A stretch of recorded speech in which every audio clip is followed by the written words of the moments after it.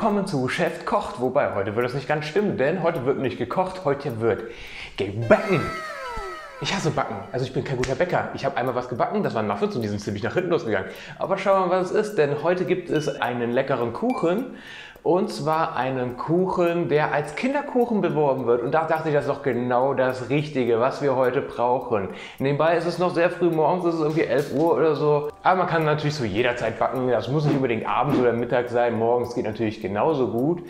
Und jetzt schauen wir uns erstmal an, was kommt in den Kuchen überhaupt rein. Als erstes kommt rein Eier, vier Stück, Butter, äh, keine Ahnung mehr genau wie viel, Milch, Zuckerli, Vanillezucker, Backpulver, Mehl natürlich und was auch noch reinkommt, eigentlich kommt noch Rosine in das Rezept rein. Äh, meine Freundin mag keine Rosinen, damit die eventuell auch was davon essen kann, habe ich die Rosinen ausgetauscht und zwar gegen einen Block Schokolade. Da steht drauf, ideal zum Backen, Kochen und Naschen. Äh, mal schauen, ob das stimmt. Ich bin da eher skeptisch. Das sieht irgendwie aus wie Kuvertüre und... Oh, doch nicht. Okay. Und die wichtigste Zutat habe ich tatsächlich vergessen. Es ist ja schließlich ein Kinderkuchen und deswegen kommt da einfach mal ganz entspannt 250 Milliliter Rum rein. Ja, typischer Kinderkuchen. Aber na gut, schauen wir mal, was das Rezept uns sagt. Nebenbei, ich mache nur die halbe Menge, ich mache nicht die komplette Menge, denn die, bei der kompletten Menge kommt ein ganzes Kilo Mehl rein. Äh, keine Ahnung, was das für ein Kuchen sein soll. Ein Kilo Mehl finde ich schon mega viel. Und da bin ich auch mal wirklich sehr, sehr gespannt, ne? was das hier mit der leckeren Pülchen geben wird. Bla bla bla, 160 Grad. 160 entzückende Grad. Die Butter und den Zucker mit den Eiern zusammen schaumig rühren. Das kriegen wir doch wohin. Das bedeutet, ich brauche einmal meine vier Eier. boy. Mit einer Hand. Mega cool. Woo! Oh, ich finde Eier machen immer so ein bisschen eklig. Nice. Alter, ich kann das mittlerweile. Ich bin ja ein richtiger Profi-Bäcker geworden.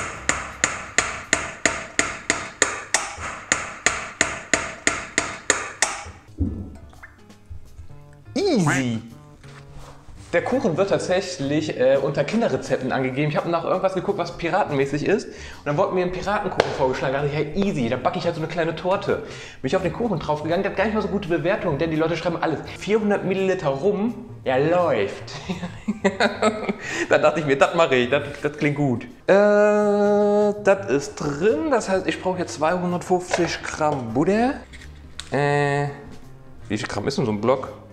500, ne? Oder sind das auch, sind das 250? Wait, da kommt der ganze Block rein? Ich pack da doch nicht so... Für wie viele Personen ist das denn gedacht? Ich glaube, ich schneide das mal vorher mal ein bisschen klein. Zum Glück habe ich die Butter draußen liegen lassen, ist sie jetzt schön weich. Alter Leute, das kann nicht richtig sein. Aber ich mache erstmal die Hälfte rein, dann verrühre ich das und dann kommt die andere Hälfte. Was kommt dann noch rein ganz am Anfang? 400 Gramm Zucker? Alter, das schreit der Diabetes. Ja, ich hätte noch was frei. Ich kann noch ein bisschen Diabetes übernehmen. Äh, was braucht man zum so, so einem Schneebesen, nicht? Das soll jetzt funktionieren.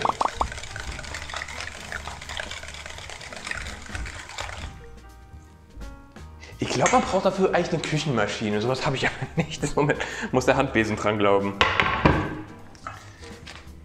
Wisst ihr was? Ich nehme jetzt einfach hier eine Schüssel. Am besten nicht, am besten eine, die ich auch in die Mikrowelle reinpacken darf. Und mache das einfach mal ganz kurz in die Mikrowelle. Rein damit. Oh, das war jetzt mal kurz in der Mikrowelle drin. Ob das jetzt so viel gebracht hat, weiß ich nicht. Ich muss erstmal hier allgemein noch ein bisschen das hier verquirlen. Hier fliegt mir alles durch die Gegend.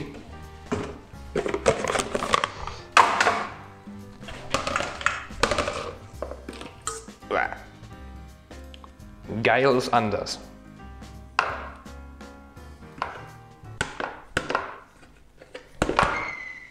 Oh nö, jetzt hängt die Hälfte da drin. Ich habe da nicht so ein gutes Gefühl dabei. Aber wer bin ich schon? Ich habe halt keine Ahnung vom Backen. Vielleicht ist das auch genau so, vielleicht soll es auch genau so sein. Das wird bestimmt besser, wenn ich jetzt äh, 400 Gramm Zucker reinkippe.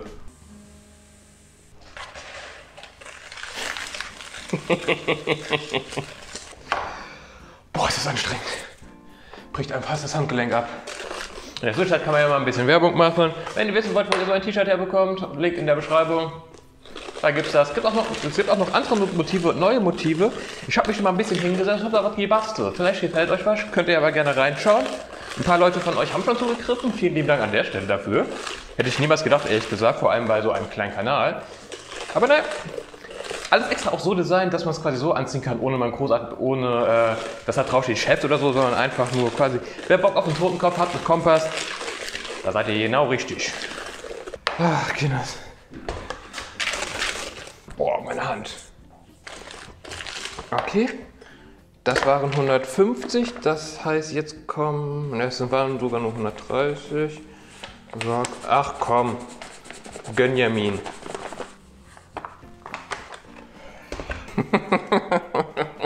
Die Küche sieht danach aus wie Sau.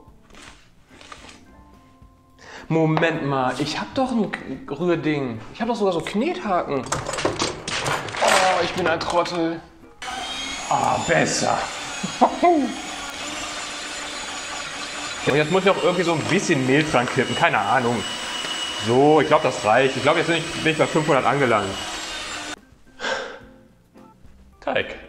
Nice. Ist auch kaum was daneben gegangen. Hm, sehr gut.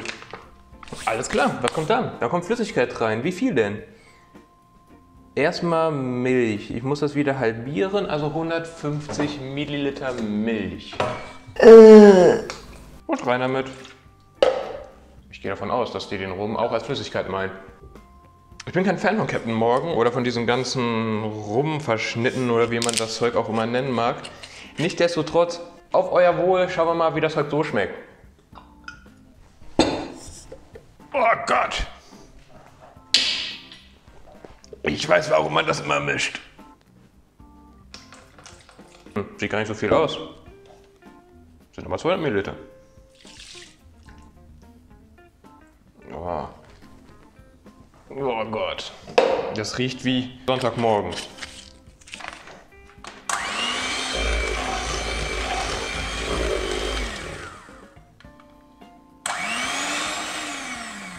Ja, das war dumm. Das war dumm. Sven, das war sehr, sehr clever. Ja. Ich glaube, prinzipiell bin ich damit fertig. Normalerweise kommen noch Rosinen rein. Wie gesagt, die lasse ich weg. Ich mache das mit Schokolade. Jetzt überlege ich, dass ich die Schokolade einmal schmelzen lasse. Sollte ich vielleicht erst machen, wenn der Kuchen fertig ist.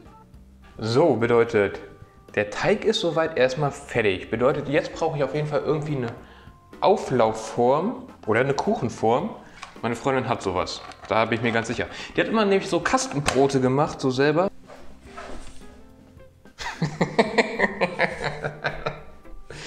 Die ist ein bisschen klein. Das alles soll jetzt da rein. Das sehe ich noch nicht. Ich brauche noch eine Auflaufform. Boah, ich hätte voll die Idee. Ich mache erst ein Stück davon rein. Ich schmelze mir ein bisschen von der Schokolade, mache das oben drauf und mache dann wieder Teig oben drauf. Das klingt ja nach einer mega guten Idee. Wir pimpen das Re Rezept. Machen den Topf da rein. Machen da Schokolade rein. Die Küche sieht aus wie Sau. Ey, Tommy. Was hast du getan? So, aber ich mache nicht alles da rein, sondern nur die Hälfte von der vorhandenen Schokolade. Wie schmeckt die eigentlich so? Oh Gott, weil die ist doch knapp. Ja, muss man mögen. Hm, das geht. Bin aber nicht so der Schokoladenfan. What? Jetzt warten wir so lange, bis die Schokolade da, äh, das was, was macht Schokolade machen soll. Und dann geht's weiter. Sie fängt an zu schmelzen. Ich kann die Milch schon mal in den Kühlschrank wieder stellen. Und die Schokolade kommt hier rüber, ja ganz schnell. So, Schokolade ist immer noch nicht geschmolzen. Ich habe überlegt, in der Zwischenzeit könnte ich auch einfach schon mal das da, da reinmachen. Muss ich sowas vorher einfetten? Jetzt ist zu spät. Wer gerne mal das Rezept gerne nachkochen möchte, der kann sich das unten in der Beschreibung anschauen. Habe ich ja reingepackt. Jeder, der Lust drauf haben sollte, beziehungsweise nachbacken. Und beim nächsten Mal wird es auf jeden Fall wieder kochen. Bei Backen, das ist so eine Sauerei. Hier liegt einfach überall alles rum. So.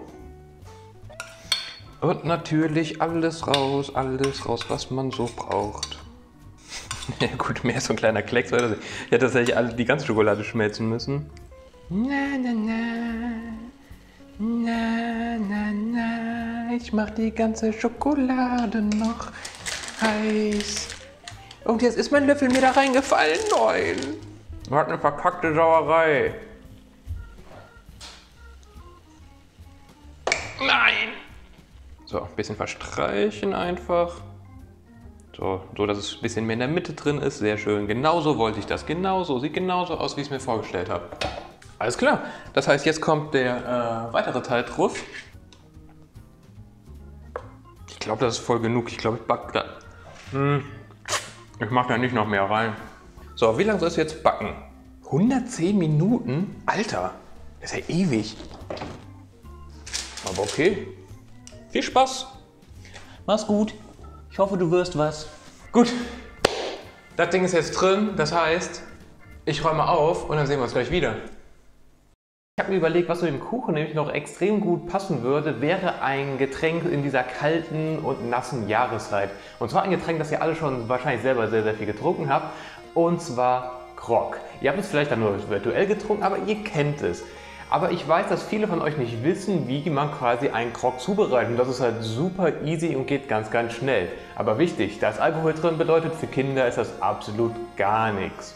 Alle Nordmänner unter euch werden wahrscheinlich längst wissen, wie das funktioniert. Der Rest, jetzt mal aufgepasst, geht ganz einfach und geht ganz schnell. Als allererstes brauchen wir einmal heißes Wasser. Die zweite wichtige Zutat ist Tee. Dann braucht ihr noch eine Zitrone. Scheiße. Rohrzucker. Es tut aber auch Honig, also ihr müsst nicht unbedingt Rohrzucker nehmen. Ich finde es mit Rohrzucker ein klein wenig besser. Normaler Zucker tut es natürlich auch. Dann braucht ihr noch Nelken. Und damit aus einem heißen Tee mit Zitrone und Nelken ein Krog wird, braucht ihr nur noch Rupp.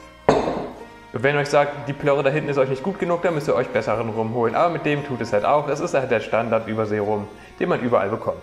Und naja, Krog machen ist jetzt denkbar einfach. Ihr macht erstmal euer Wasser heiß. Wasser heiß machen geht auch mit Fingerschnipsen. So, Wasser ist heiß. Ihr nehmt euer Gefäß, im Idealfall nehmt ihr eins mit dem Henkel. Ich habe aber keins, was schön ist. Kippt da euer Wasser rein. Nehmt einen Teebeutel, wer hätte es gedacht. Als nächstes eine, eine Zitrone. Was helfen kann, ist, wenn man die Zitronen vorher einmal ein bisschen rollt, dann gehen die Wände innen drin kaputt und der Saft kommt dann ein bisschen besser raus. Ein scharfes Messer, einmal schnell und zur Seite. Und dann schneidet ihr einfach mal einmal eine dickere Scheibe davon ab. Und der Rest kann auch schon wieder weg. Als nächstes einfach drei Nelken, die stopft ihr hier rein. Nelken sind optional, müsst ihr nicht unbedingt nehmen. Ich finde das aber immer sehr lecker, damit das besser reinpasst.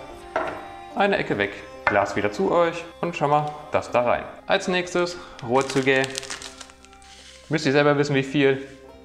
Und zum Schluss einen guten Schluck rum.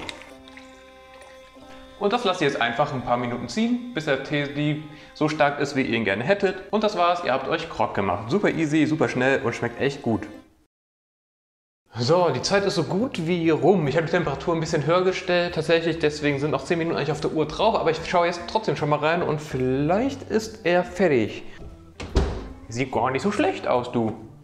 Optisch sieht es okay aus. Angeblich soll man mit einem Holzstäbchen reinpieksen und gucken, ob er gut ist. Gut. Woher weiß ich jetzt, ob er gut ist oder nicht? Also ich kann durchpieksen.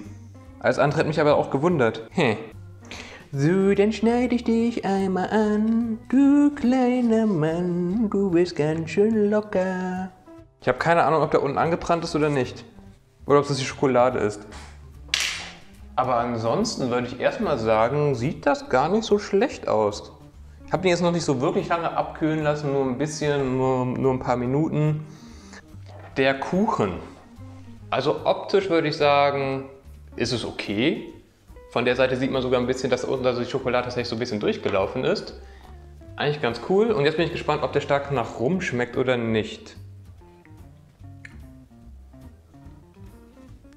Ich glaube, der braucht noch ein paar Minuten. Der ist noch so halb roh.